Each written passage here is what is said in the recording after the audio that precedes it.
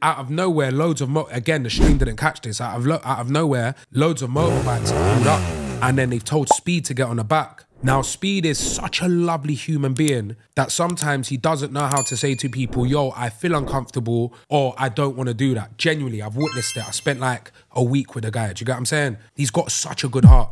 So I quickly said to him, "No, you're not getting on that bike." Make sure I told all these other boys what was going on because he went with like five or six of his friends, and made sure I told them what was going on. And then it was like, "Yo, you're not getting on that bike." Furthermore, we out. Do you get what I'm saying? And then yeah, the motorbike guys started following us. And then when we was even on the bus going back, someone even put out the shout like, "Yo, check if they're following us." Like, bro, we was scared, bro.